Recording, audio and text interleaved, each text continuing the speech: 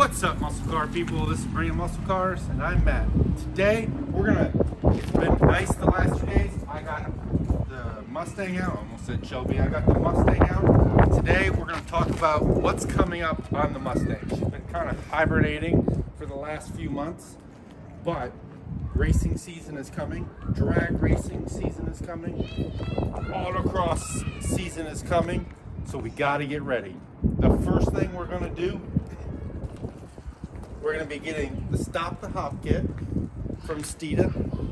And I'm going to finally install the lowering springs that have been sitting in the shop for almost a year now, nine months. So those are getting done. I'm probably going to get sway bars, no guarantees. Probably will get sway bars.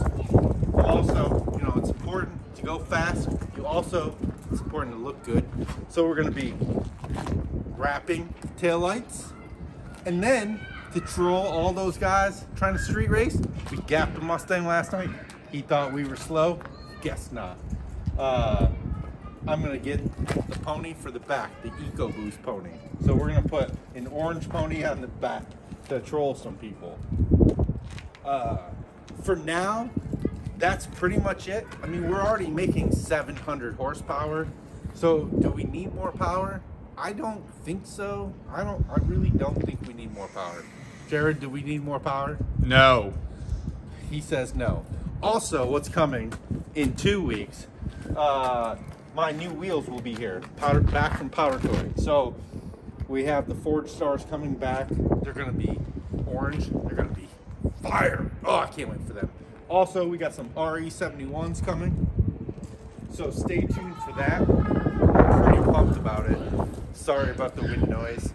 Uh, I'm pretty pumped about the wheels and the tires because we might actually have grip.